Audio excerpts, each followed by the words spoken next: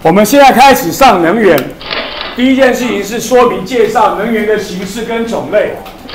第一个是告诉你什么叫能源，只要是能够提供热能的就叫做能源。我在第一科的时候已经讲过了，啊，只要能够提供热能的就叫做所谓的能源，叫能源。那我们这些是一些所使用的能源的演进，就看一下、欣赏一下就好。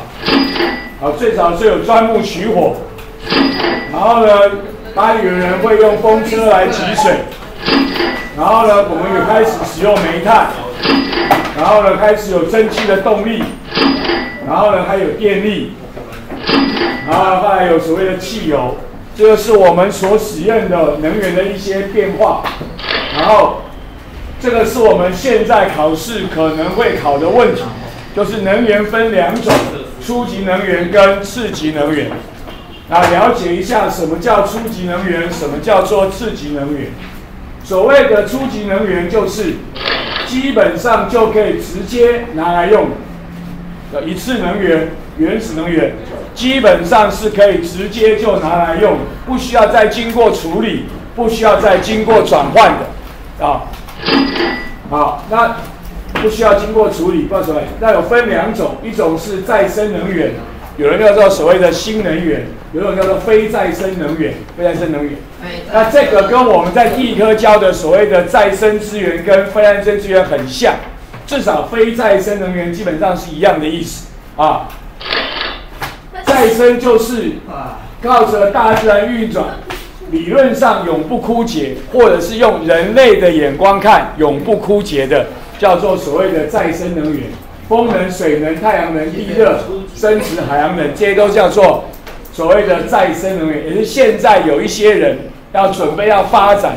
你看最近的新闻，德国的最大的电力公司、能源公司，他说他再也不要用核能，也不要烧煤，他都要发展所谓的再生能源。就这个，OK。非再生就是用完就没有的，这跟我们地科教的是一样的。用完就没有的，存量有限，以人类的尺度看，用完就没有的，就叫做所谓的非再生能源。所有的矿产都是非再生能源。那这边讲就所谓的石油啊、天然气啊、核燃料、铀矿啊这些东西，都叫做所谓的非再生能源。那次级能源就叫二次能源或衍生能源，要经过转换的，呃动点手脚的。要动点手脚啊！电能要经过水力发电转一下，风力发电转一下，才会有电能的啊。汽油要经过石油提炼过才会有汽油的啊。这种要经过一点转换的，这种呢就叫做所谓的次级能源、二次能源、衍生能源。OK，好，就是这个表，重点就是这个表，考试就是考一种问题。这个能源，请问你它是初级能源还是次级能源？它是再生资源还是再生能源还是非再生能源？就把它分清楚就好了。